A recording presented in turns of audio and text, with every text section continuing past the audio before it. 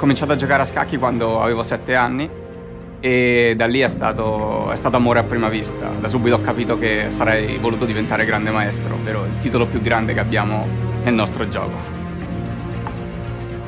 Devi avere delle capacità analitiche, devi avere delle capacità logiche, eh, dove bisogna leggere il linguaggio del corpo dell'avversario, bisogna capire dei piccoli comportamenti. Pensare alla mossa successiva del tuo avversario è fondamentale nel nostro gioco. Generalmente siamo capaci di poter calcolare anche 15-20 mosse nel, nella strategia del nostro avversario o della partita in generale. Dal punto di vista analitico possiamo essere in grado di calcolare un'intera partita mentalmente e visualizzarla senza troppi problemi.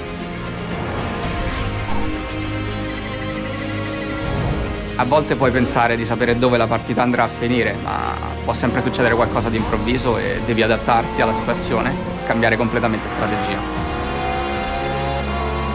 Per un esterno la partita di scacchi potrebbe sembrare semplicemente due giocatori che muovono i pezzi. Per me è una battaglia senza uguali.